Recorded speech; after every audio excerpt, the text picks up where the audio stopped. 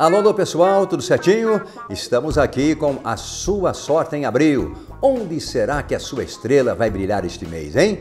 No amor? Não, no amor a gente não trata aqui, né? Aqui a gente fala muito de dinheiro, de trabalho. No amor você vai conferir no nosso horóscopo que já está rodando aí, tá? Não se esqueça de se inscrever, de clicar no sininho e também de mandar o seu like, perfeito?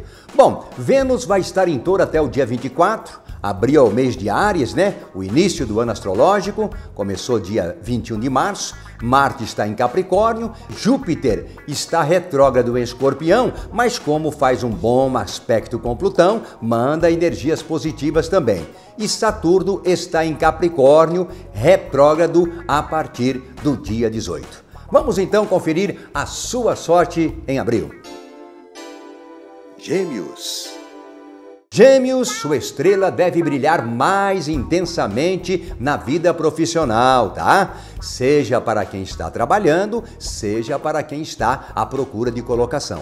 Mudanças serão bem-vindas, gêmeos. Por outro lado, redobre atenção com empréstimos, dívidas e aqueles negócios né, que prometem um monte de coisa, mas que só trazem vermelho, vermelhusco, vermelhão, tá certo? Números 36 9 27 45 9900. Cores pink e amarelo. Os bichos da sorte: burro, touro e cachorro. E o talismã é aquele símbolo Yan Yang. E ficamos por aqui, pessoal, agradecendo a sua companhia, agradecendo a sua audiência e esperando a sua inscrição, tá certo? Não se esqueça de mandar o seu like, o seu joinha e também de clicar no sininho para receber as nossas notificações, beleza?